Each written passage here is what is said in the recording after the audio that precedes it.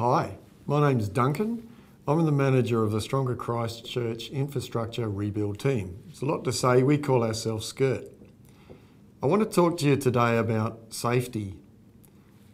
Safety is a really important part of, of us rebuilding the infrastructure network that is keeping Christchurch working.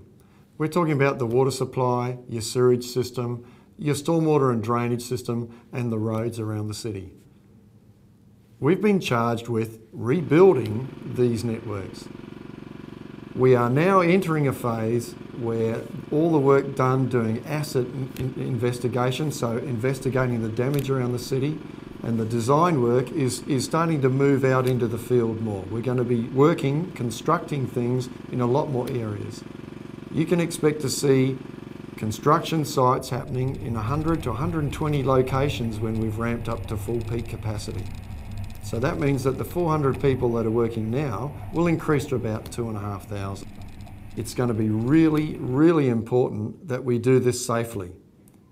It's paramount to us that everyone who comes to work at SCIRT goes home in the same way they've come to work.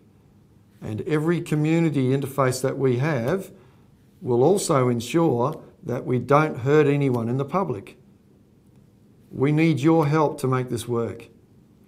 We can put the traffic management in place, we can have safe systems of work on our sites, but the reality is that the community is interfacing with us all the time. When you see speed limit signs, they're there for a reason. It's to help maintain a safe environment for you, the travelling public, and for our people at SCIRT. Safety is our number one priority. We can't do it on our own. We really need you to help us. Each year in New Zealand, road workers are injured and killed by dangerous drivers in our construction sites.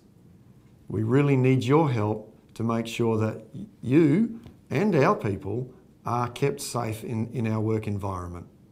Please slow down. Please do your bit to help us have a safe rebuild of Christchurch. Thanks very much. It is quite dangerous out there at the best of times. All the workers have got families at home that they want to go home to at the end of the day, but also the people driving around have got families that you guys want to get home to as well. Hi, I'm Daniel. I work for City Care Traffic Management, part of the Stronger Christchurch Rebuild team. Just want to talk to everyone today about a few issues that the road workers are facing. Uh, in particular, speeding motorists are causing a few issues at the moment.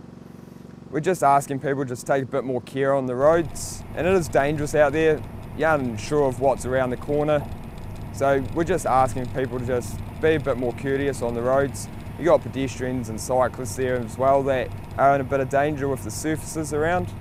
So yeah, can we just just please just be courteous with the road workers and everything on the road because we're trying to build Christchurch for everybody so we can get back to a bit of normality again with the whole speeding issue that we are facing at the moment, there are plenty of signs out there. As you can see, the sign behind me that says 30k. It's just for your safety and the road workers' safety. So can we please abide by these signs and slow down for everybody's safety?